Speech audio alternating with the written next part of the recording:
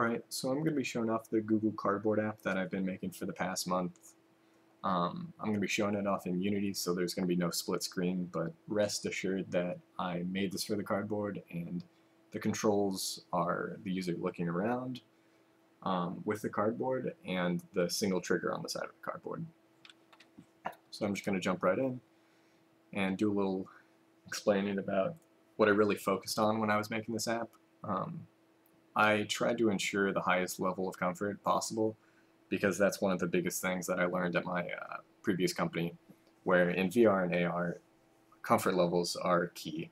Um, if you're trying to make an app and you just it, it's an amazing app um, it's an amazing experience for the user but they just can't live in it for more than five ten minutes because it makes them nauseous then what do you have so I focused on designing around that um, the first thing that that entails is that I tried to make this 60 FPS at all times, um, which, I mean, that's pretty easy to do in this day and age, but it's pretty, it's not as easy on uh, the mobile devices, uh, especially considering the fact that when you do design for the cardboard, you have to render it twice. Um, so this runs at 60 FPS most times, um, and I really strive for that even with all these objects in the screen.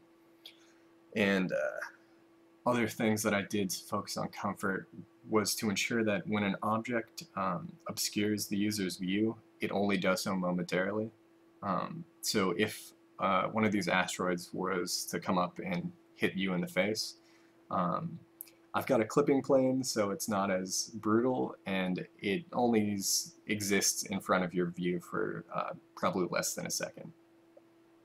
And the curious part of that is I actually tried testing a crosshair that was in the center of the screen and followed the user around, but it felt nauseating. It was a very strange phenomenon.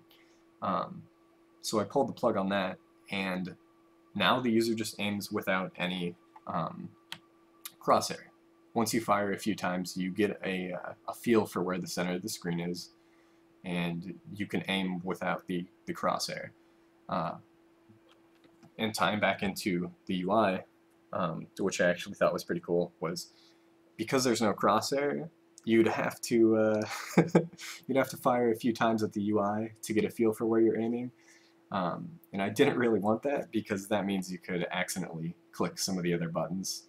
Um, so instead what I did was I created this little ball uh, that lives on the UI and if you look away, it doesn't follow your view.